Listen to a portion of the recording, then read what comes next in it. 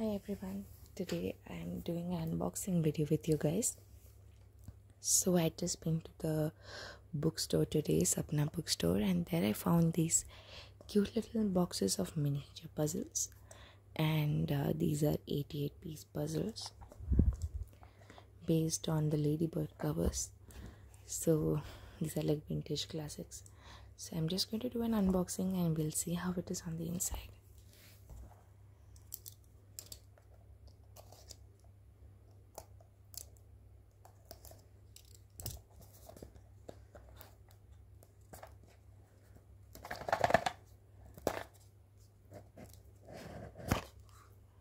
okay. So it comes with this book. And you can see all the titles available in this series. I have two of these. Sleeping beauty and uh, red riding hood. And we have the puzzle pieces in a little bag. So let's get this opened up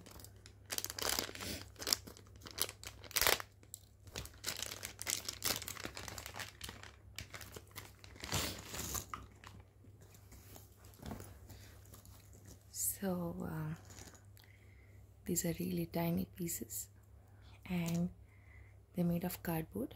It's not wood or any other material it's just cardboard. So one sign is it's shiny on one side and the back side is matte. And um, I think they're all evenly sized.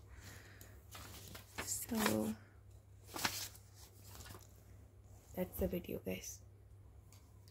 So what i did was i just paused the recording and i assembled the puzzle. So you can take a look at how it looks. That's the last piece over there. And um, it looks exactly like this picture. So you could uh, use this for reference. Or use the picture given here. Or you could just go at it blind. And uh, the size of it is roughly about the size of a chapter book and I think it's really nice. It's a very very cute keepsake to have, specifically uh, if you are a fan of uh, these old classics.